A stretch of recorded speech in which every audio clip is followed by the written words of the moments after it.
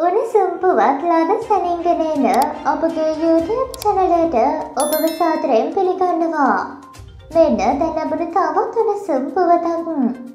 ගාසාතීරේ පතු වෙමින් ඇති යුද ගෙඩි තෙල්මැද ලෝක බොරු තෙල්මිල වැඩිවෙමින් පවතින බව විචාරකයෝ පෙන්වා දෙති. පසුගිය සිකුරාදා බොරු තෙල් බැරල එක මිල සියට හතයි දශම හතකින් වැඩි වූ අතර එය සඳහන් වූයේ ඩොලර් අනු එකයි දශම විස්සක් ලෙසය. නමුත් අදදිනයට බොඩතෙල්මිලෙහි වැඩි වෙනසක් සිදු නොවනේ.